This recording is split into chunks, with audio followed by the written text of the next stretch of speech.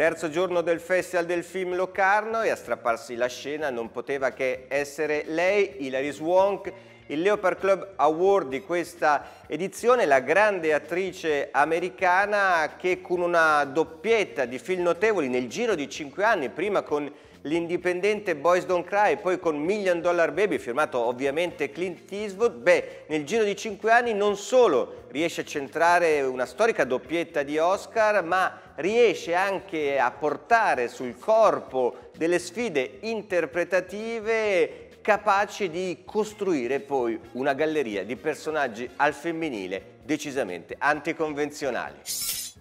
Cosa vogliamo dire del talento e della carriera di Hilary Swank? In carriera ha ottenuto due nomination all'Oscar, per Boys Don't Cry e per Million Dollar Baby.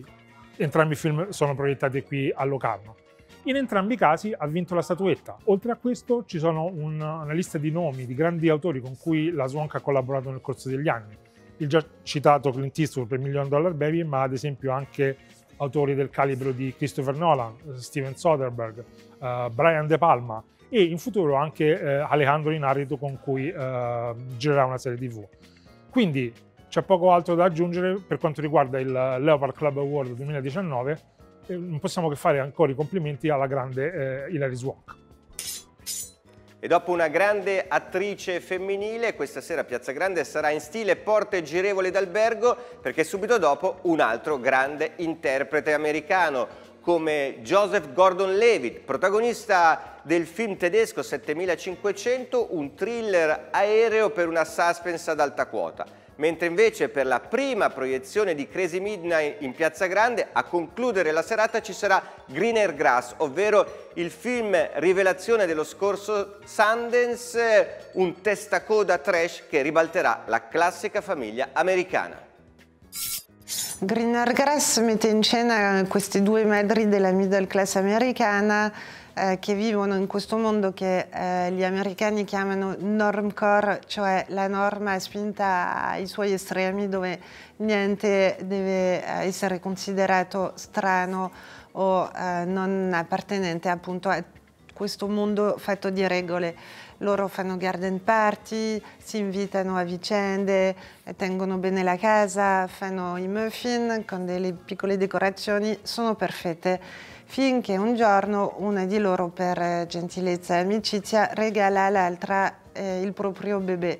Lì eh, tutto questo mondo perfetto comincerà a eh, andare fuori dalle ruote e come un, sulle scie di un John Waters eh, con eh, un taglio molto molto pop eh, il film eh, finirà col spezzare ogni, ogni, regola possibile.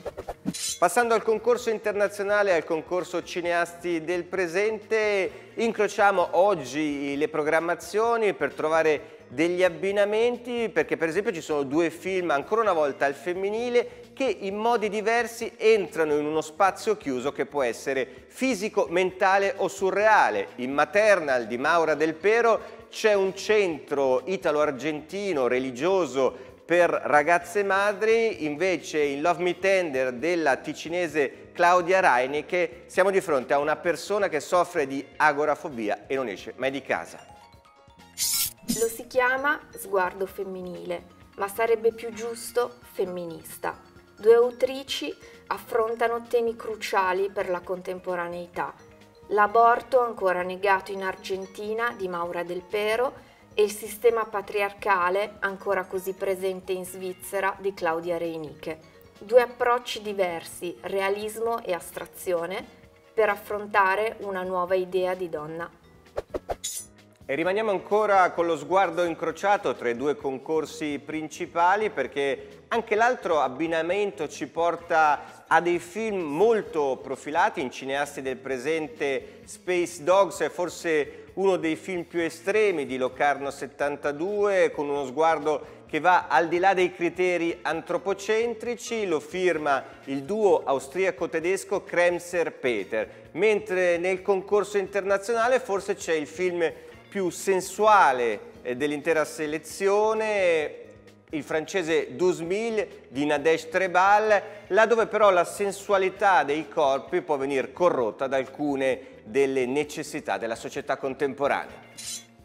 From the very beginning, Douze Mille by Nadège Trebal blew me away because I realized how incredibly rare it is to see a film in which you deeply believe in the sexual connection between two people. It's a film that, without being explicit or really showing any skin, makes you believe in the power of an erotic connection and then goes beyond that to really analyze the connection in our time between our sexual lives and political and economic violence and exploitation.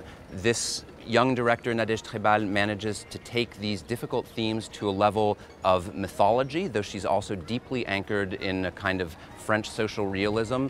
And in that sense, I feel that it's a unique and deeply impressive first fiction feature.